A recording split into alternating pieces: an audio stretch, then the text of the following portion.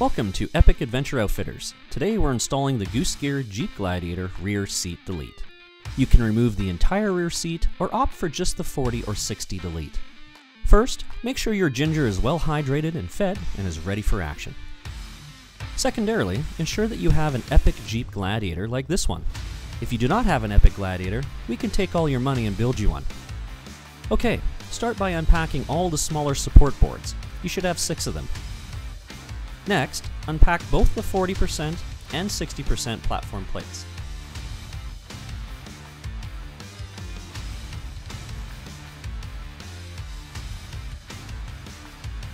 Remove all the junk from under your seat storage and remove your rear floor mat.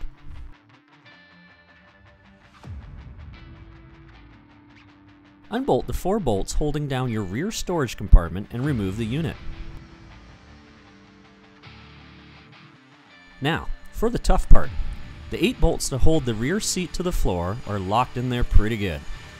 We found that using a breaker bar or ratcheting breaker bar will give you enough leverage to remove the bolts. The bolts are an inverted torque set, so you will need the proper socket. Once the 8 bolts are out, you can simply lift up the seat and take out the trash. Once the seat is out, it's impressive how much space there is back here. Begin with the 60% platform and place it upside down with the required support boards. Loosen the connector bolts for each board and slide them into position as shown.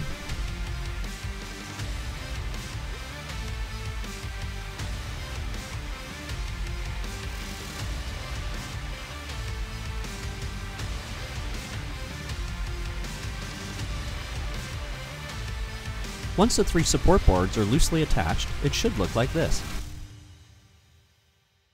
Have your Ginger pick up the assembled 60% platform unit and place it on the passenger side of the vehicle.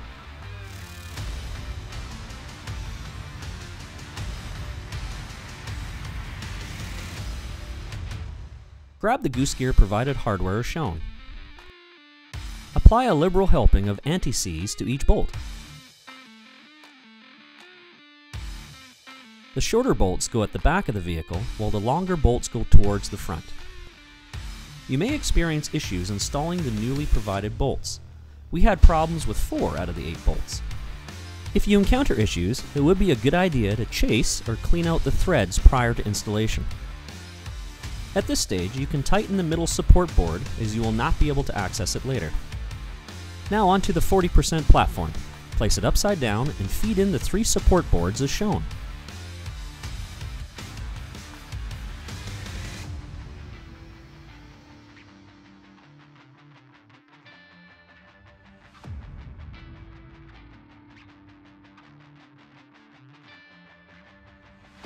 Once the three support boards are loosely attached, it should look like this. Have your Ginger lift the assembled 40% platform unit and place it on the driver's side of the vehicle. As with the previous side, grab the provided hardware and apply anti-seize to each bolt. Then install the bolts through the floor.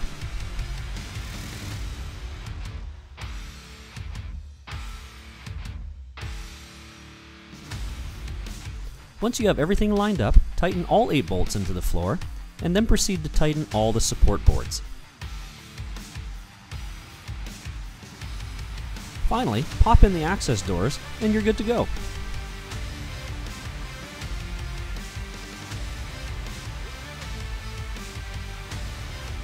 The finished project should look like this.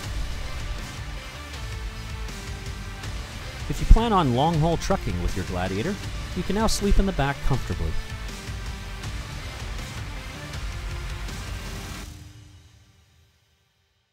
Sleep well, Ginger. Sleep well. Thanks for watching and feel free to contact our team at Epic for all your Goose Gear questions.